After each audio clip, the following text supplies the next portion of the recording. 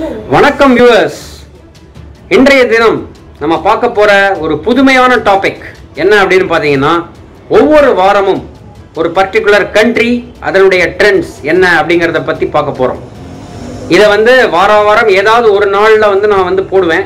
Community போஸ்ட்லேயும் நான் வந்து அதை இண்டிகேட் பண்ணுறேன் அதை பார்த்துட்டு நீங்கள் வந்து உங்களுடைய அபிமான கமெண்ட்ஸை சொல்ல வேண்டும் என்பதுதான் என்னுடைய தாழ்மையான வேண்டுகோள். இன்றைய தினம் நம்ம பார்க்க போகிற அந்த ஹாட் ட்ரெண்டிங் கண்ட்ரி என்ன அப்படின்னு பார்த்தீங்கன்னா ஃப்ரான்ஸ் வீடியோக்குள்ள போகிறதுக்கு முன்னாடி வியூவர்ஸ் சப்ஸ்கிரைப் பண்ணிக்கோங்க. கமெண்ட் செக்ஷனில் கமெண்ட்ஸை பதிவு செய் பதிவு செய்யவும். இன்றைய தினம் நம்ம பார்க்க போகிற அந்த பிரான்ஸின் நியூஸ் என்ன? இப்போ இந்தியாவுடைய இதுலேருந்து ஆரம்பிப்போம். முதல்ல பார்த்தீங்கன்னா நம்மளுடைய பிரதமர் மோடிக்கும் நம்ம யூனியன் கவர்மெண்ட்டுக்கும் இந்தியாவுக்கும் ஒரு நன்றி பிக் சல்யூட்ன்ற மாதிரி இந்த ராமாயணத்தை உதாரணமாக எடுத்து பிரான்ஸ் அதிபர் பொல்சனாரோ அவர்கள் கூறியிருந்தார். ஸோ என்ன சொல்லியிருந்தாரு?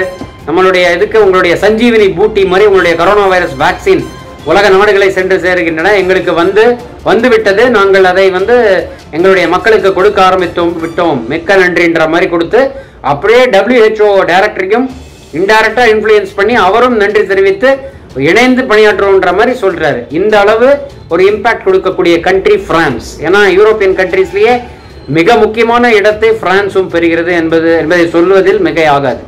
ஸோ இப்போ இந்த விஷயத்தை நான் எதுக்காக சொல்கிறேன்னா ட்ரெண்டிங் ட்ரெண்டிங் டாப்பிக்கில் இப்போ ஃப்ரான்ஸ் இருக்குது ஸோ மற்ற விஷயங்கள் பிரான்ஸில் என்ன நடந்து கொண்டிருக்கின்றன? ஒரு சின்ன அலசல். குயிக்காக சொல்லிடுறேன் என்னென்ன விஷயம் அப்படின்னு சொல்லிட்டு. ஃப்ரான்ஸில் பார்த்தீங்கன்னா நம்மள மாதிரி தான் ஃப்ரான்ஸ் கண்ட்ரிலையும் வந்து இப்போ கரோனா வைரஸ் பேண்டமிக்கை அவங்க சந்திக்கிறாங்கிறது ஒரு விஷயம்தான். வேற என்னென்னலாம் பண்ணுறாங்க அப்படின்னா ஒரு நான்கு அல்லது ஐந்து டாபிக் இருக்கும். இப்போ வந்து லாக்டவுன் வந்து பிரான்ஸில் அறிவிச்சாங்க. லாக்டவுனில் வந்து பார்த்தீங்கன்னா எல்லோரும் எதிர்பார்த்தபடி லாக்டவுனில் பேபி பூம் அப்படின்னு ஒரு விஷயம் எல்லா கண்ட்ரிலையும் பேசிட்டு இருந்தாங்க. ஏன்னா வந்து எல்லா கப்புள்ஸும் சேர்ந்து இருக்கும் நிறைய குழந்தைகள் பெற்றுக்கொள்வார்கள் என்பது போல் ஒரு தோரணை இருந்தது. இது பிரான்ஸ்லேயும் வந்து ரொம்ப எதிர்பார்த்த ஒரு விஷயமாக இருந்தது. ஆனால் பிரான்ஸுடைய கல்ச்சர் வேற விதம். அவங்க வந்து சேஃப்டி ஹைஜீன் அப்படிங்கிற அந்த ஆஸ்பெக்டை மிக மிக முக்கியமாக பின்பற்றி இருக்கிறார்கள் என்பதை பார்க்கும்பொழுது நமக்கு பலவிதமான அவர்களுடைய கல்ச்சரல் சேஞ்ச் இருக்கிறதா அப்படின்ற மாதிரி சில விஷயங்கள்லாம் தெரியுது. The baby PU boom that never was France's sharp decline decline in the lockdown babies அப்படின்ற மாதிரி ஒரு தலைப்பு செய்தி பிரான்ஸ் பத்திரிகைகளில் வந்தது. அது என்ன விஷயம் அப்படின்னு பார்த்தீங்கன்னா எப்படி தான் நம்ம நம்ம எதிர்பார்த்த மாதிரி இட்டாலியா இருந்தாலும் சரி சைனாலேருந்து வந்ததுக்கப்புறம் பல கண்ட்ரீஸில் லாக்டவுனில் ஃபுல்லாக இருந்த பொழுது வீட்டில் எல்லோரும் இருக்கும்போது என்னெல்லாம் சைக்கலாஜிக்கல் ப்ராப்ளம் டீல் பண்ண போகிறாங்க என்ன மாதிரிலாம் விளைவுகள் வரும் அப்படின்னு பார்க்கும்போது baby boom is also one of the ஃபேக்டர்னு நம்ம பார்த்தோம். ஆனால் இதில் வந்து மாறுபட்டிருக்கிறது ஃப்ரான்ஸ் இது ஒரு பக்கம். இரண்டாவதாக ஆச்சரியமான ஒரு விஷயம் என்னன்னு பார்த்தீங்கன்னா டோட்டல் அதாவது sale of pregnancy pregnancy test shot up thirty seven percent pregnancy இருக்கான்னு தேர்ட்டி செவன் பர்சன்ட் பீப்புள் வந்து ஃபர்ஸ்ட் லாக்டவுனில் பார்த்தாங்க. அப்புறம் தான் இந்த கான்ட்ரசெப்ஷன் சேல்ஸ் பார்த்தீங்கன்னா plunge twenty six percent twenty six percent குறைந்தது. ஸோ இந்த மாதிரி விஷயங்கள் ஒரு பக்கம். So instead of confirming a baby boom number of numbers gathered by national statistics institute அங்கே நேஷனல் ஸ்டாட்டிஸ்டிக்ஸ் இன்ஸ்டியூட்னு இருக்கு. அதில் வந்து பார்த்தீங்கன்னா ரெண்டு பர்சன்ட் பாப்புலேஷனில் குறைந்திருக்கிறது. அதாவது பர்த் ரேட்டுடைய விஷயத்தில் ரெண்டு பர்சன்ட் டிக்ளைன் இருக்குது இது எதை குறிக்குதுன்னா கப்புள்ஸ் வந்து அவங்க சில்ட்ரன்ஸோட இருக்கும்போது அவங்க பர்சனல் ஸ்பேஸில் நிறைய இந்த மாதிரி வீட்டு சம்பந்தமான பல விஷயங்களை குழந்தைகளை இன்வால்வ் பண்ணி செய்திருக்கிறார்கள். அதுக்கே அவங்களுக்கு நேரம் இல்லைங்கிற போது மற்ற விஷயங்கள் எல்லாம் அவர்கள் பார்ப்பதற்கு நேரமே முற்றிலும் கிடையாதுங்கிற மாதிரி ஒரு சர்வே சொல்லுது. ஸோ இதுதான் வந்து முதல் விஷயம் பிரான்ஸை பற்றிய விஷயம். இரண்டாவது பிரான்சின் போலீஸ் அதாவது என்ன சொல்கிறாங்க அப்படின்னா இவங்களை வந்து பிரான்ஸ் போலீஸை பற்றி இப்பொழுது ச- கொஞ்ச காலமாக சில நெகட்டிவ் நியூஸஸ் வருகிறது. எப்படி வந்து நம்ம அமெரிக்காவில் வந்து அந்த ஃப்ளாய்ட் இஷ்யூ பார்த்தோமோ அது மாதிரி பல ரேஷியல் அப்யூசஸ் பிரான்ஸ்ல நடக்கிறதா அரசல் புரசலாக செய்திகள் வந்து கொண்டு வந்த வண்ணம் இருக்கின்றன. ஆனால் இதுக்கு பின்னாடி என்ன லாஜிக்னு பா- பார்த்தோம்னா தெரிய வந்த விஷயங்கள் என்ன அப்படின்னா ஃப்ரான்ஸில் வந்து ஒரு சின்ன விஷயம்தான். இப்போ வந்து வேலை செஞ்சுக்கிட்டே இருக்கீங்கன்னா உங்களுக்கு லீவு தேவை. லீவு மட்டும் இல்லை எனக்கு பிடிச்ச இடத்துல என்னை போட்டால் நல்லா வேலை செய்வேன். என்னுடைய ஹோம் டவுனுக்கு பக்கத்தில் இருந்தால் இன்னும் ரொம்ப சந்தோஷம்.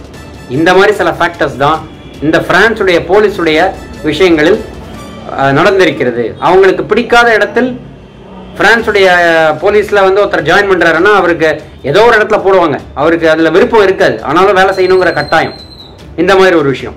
இன்னொரு விஷயம் பார்த்தீங்கன்னா ஃப்ரான்ஸில் அவங்களுடைய போலீஸுடைய இதில் வந்து புது விதமான ஒரு இடத்துல போனதுக்கப்புறம் அங்கே என்ன கல்ச்சர் அங்கே எப்படி மூவ் பண்ணணும் அந்த மாதிரி சில விஷயங்கள் அவர்களுக்கே தெரியாமல் இருந்த ஒரு விஷயம். சரி தெரியவில்லை என்றால் சூப்பர்வைசருடைய இதோட செய்யணும். சூப்பர்வைசர்ஸே ஃபுல் கண்ட்ரோல் கொடுக்காமல் இருந்தார்கள். இந்த சென்ஸ் சூப்பர்வைசரே வந்து டைரெக்டாக அவர் வந்து ஒவ்வொரு அதிகாரியும் பார்க்காம ஃப்ரீடம் இருக்கட்டுமே என்ற மாதிரி விட்டார். ஃப்ரீடம் இருப்பது நல்ல விஷயம்தான். ஆனால் அதே சமயம் அதோடைய விஷயம் என்னன்னா கரெக்டாக நீங்கள் கண்ட்ரோல் பண்ணலைன்னா என்ன ஆகும்னா அவங்களுக்கு என்ன தெரியுதோ செய்வாங்க. அது சம்டைம்ஸ் ஃபயர் பேக் ஆகும். இது ஒரு விஷயம். இன்னொரு முக்கியமான விஷயம் என்னன்னா லோக்கலில் இப்போ ஏதாவது ஃபார் எக்ஸாம்பிள் ஒரு பர்டிகுலர் கான்ஸ்டுவன்சி நம்ம ஊரில் கான்ஸ்டுவன்சி சொல்கிறோம் இல்லையா? அந்த மாதிரி கான்ஸ்டுவன்சியில் ஏதாவது ஒரு ஆக்ஷன் நடக்கும்பொழுது அதில் உள்ள எம்எல்ஏயோ எம்பியோ வந்து ஓரளவுக்கு மக்களின் சார்பாக பேச வேண்டும். அது இல்லாமல் போலீஸுக்கு ஃபுல் பவரும் கொடுத்துட்றாங்க. அவங்க என்ன செஞ்சாலும் ஓகே அப்படின்ற மாதிரி இந்த விஷயங்கள் போலீஸை வேறு விதமாக காட்டியிருக்கிறது என்று சொல்கிறது பல செய்தி செய்தி ரிப்போர்ட்ஸ் ஸோ இதுதான் வந்து இப்போ உள்ள பிரான்ஸுடைய போலீசிங் பற்றிய சில செய்திகள். அடுத்தது மிக முக்கியமான விஷயம் ஸ்டூடெண்ட்ஸ் சரி இந்த பேண்டமிக் எல்லோரையும் விட்டு வைத்ததான்னா ஸ்டூடெண்ட் செக்ஷன்ஸையும் வந்து அவங்களுடைய கஷ்டங்களும் சொல்லி மாளாததாக தான் இருக்குது என்ன அப்படின்னு பார்த்தீங்கன்னா அவங்களுடைய நிறைய இடத்துல பார்த்தீங்கன்னா ஒரு ஒரு சின்ன உதாரணம். வேற ஒரு கண்ட்ரிலேருந்து வந்த ஒரு ஸ்டூடெண்ட் அவங்க வந்து இங்கே ஃப்ரான்ஸில் அவங்களுடைய வீடை விட்டு அவங்களுடைய பெற்றோர்களை விட்டு கல்லூரி படிப்பிற்காக காலேஜ் லைஃபுக்காக வந்திருக்காங்க. இங்கே வந்து அவங்களே ஒரு வேலையில் சேர்ந்து அதில் வர சம்பளத்தை வச்சு படிக்கிறாங்க. இந்த மாதிரி இருக்கும்போது திடுமென்று இந்த பேண்டமிக் வந்ததனால் அவருக்கு வேலை போகிறது. அப்போ என்ன பண்ணாங்க? வேற ஒரு வேலையில் சேர்கிறார். ஆனால் சம்பளம் பற்றவில்லை. என்ன பண்ணுறாங்க அவங்க ஃப்ரெண்டோட ஃப்ரெண்டு வீட்டில் தங்குறாங்க. அங்கே வந்து அவங்களுக்கு இல் ட்ரீட்மெண்ட் செய்யப்படுகிறது. நீங்கள் தரையில் தான் படுக்கணும். எங்களுக்கு இடம் இல்லை. நீங்கள் படுத்தா படுங்க இல்லைன்னா நீங்கள் கிளம்புங்கன்ற மாதிரி சொல்கிறாங்க அவங்க வேறு ஃபேஸ்புக்கில் என்ன பண்ணுறாங்க ஒரு நண்பரோட இது பண்ணி அவர் சில ஹெல்ப் கேட்குறாங்க யாரோ தெரியாத இனம் தெரியாத நபர். என்னெல்லாம் ரிஸ்க் இருக்கோ அந்த ரிஸ்க் எல்லாம் ஆட்படுகிறார் அந்த பெண்மணி. ஸோ அங்கேருந்து ஓடி போகிறார். ஸோ இந்த மாதிரி பல கஷ்டங்கள் அந்த காலேஜ் லைஃப்பில் ஒரு பர்டிகுலர் பர்சனுக்கே இருக்குன்னா ஓவராலாக பார்த்தீங்கன்னா அவங்களால படிப்புக்கு ஃபீஸ் ஹையாக இருக்குது அவங்களால ஃபண்ட் பண்ண முடியல. பலவிதமான இடைஞ்சல்கள். ஸோ இந்த மாதிரி சில விஷயங்களுக்கெல்லாம் கவர்மெண்ட்டும் வந்து இப்போ தான் வந்து அவங்க புரிஞ்சிக்க ஆரம்பித்து சில ரிலீஃப் கொடுக்குறாங்க. பட் ஓவராலாக என்ன சொல்கிறாங்கன்னா ஃப்ரான்ஸில் உள்ள அதிபரும் சரி அவங்க பிரைம் மினிஸ்டரும் சரி அவங்க என்ன சொல்கிறாங்கன்னா இந்த இதில் வந்து கிட்டத்தட்ட ஒரு வருடத்திற்கு இந்த கஷ்டங்கள் நீடிக்கும். எங்களால் வந்து இதை ஒன்றும் பண்ண முடியாது.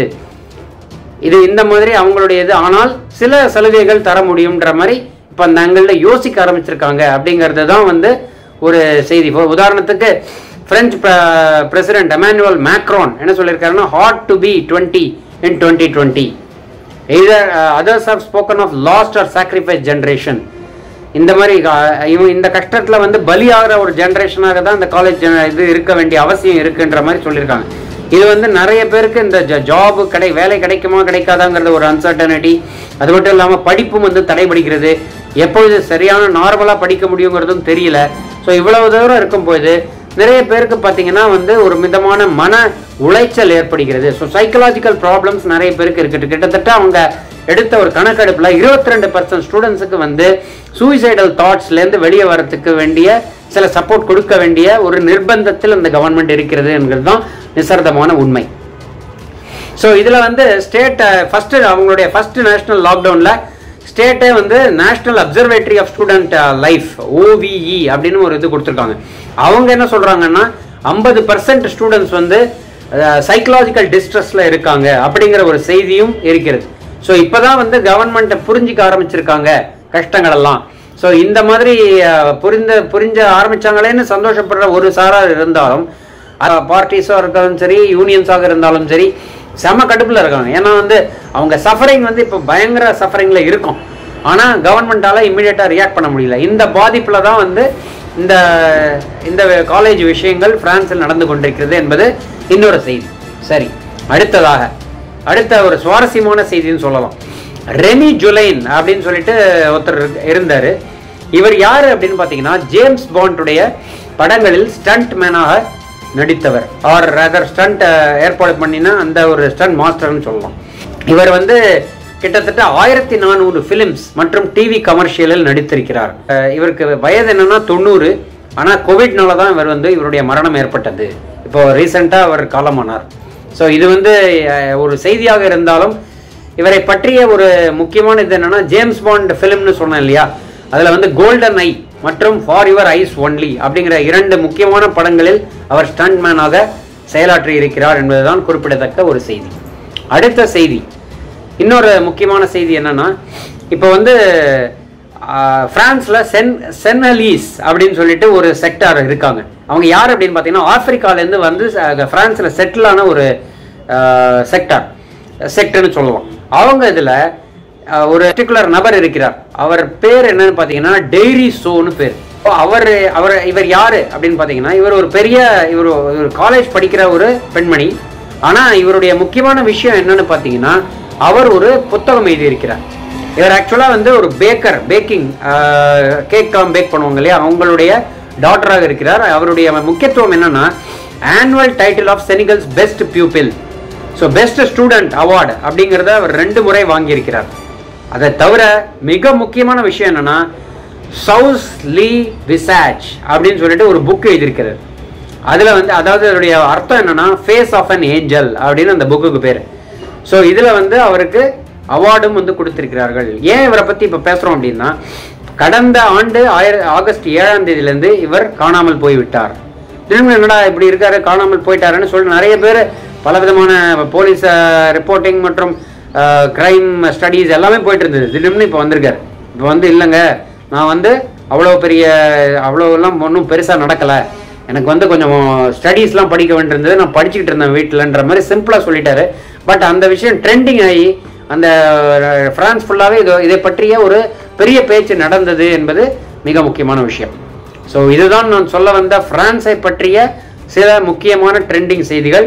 இந்த பதிவிலிருந்து நான் சொன்ன மாதிரி வார வாரம் ஒரு பர்டிகுலர் கண்ட்ரியை பற்றி அப்போ இப்போ நடக்கிற ட்ரெண்டிங்கில் இருக்கிற சில நியூஸஸை பற்றி சில செய்திகளை பற்றி நான் பகிர விரும்புகிறேன்னு சொல்லி இந்த பதிவை நான் மு- முடிக்கிறேன். முடிக்கிறதுக்கு முன்னாடி சில கேள்விகள். இந்த எந்த கண்ட்ரியை பற்றி பேசணும்? ஏதாவது ஒரு பர்டிகுலர் கண்ட்ரி ட்ரெண்டிங்காக இருக்குது இல்லை பர்டிகுலர் இஷ்யூ இருக்குது அப்படின்னா தயவு செஞ்சு கமெண்ட் செக்ஷனில் போடவும். இந்த பதிவில் உங்களுக்கு ஏதாவது அடிஷ்னலாக இன்ஃபர்மேஷன் ஏதாவது இருந்தால் இன்டர்நெட்டை தேடி பாருங்கள் அப்படியும் கிடைக்கலன்னா கண்டிப்பாக கமெண்ட் செக்ஷனில் பதிவு செய்யுங்க. அதை பார்த்துட்டு நான் இன்னொரு வீடியோ போடுறேங்கிறத சொல்லிட்டு இந்த பதிவை நிறைவு செய்கிறேன். சுவாரஸ்யமானவர்களுடன் மீண்டும் இணைவோம். நன்றி. வணக்கம்.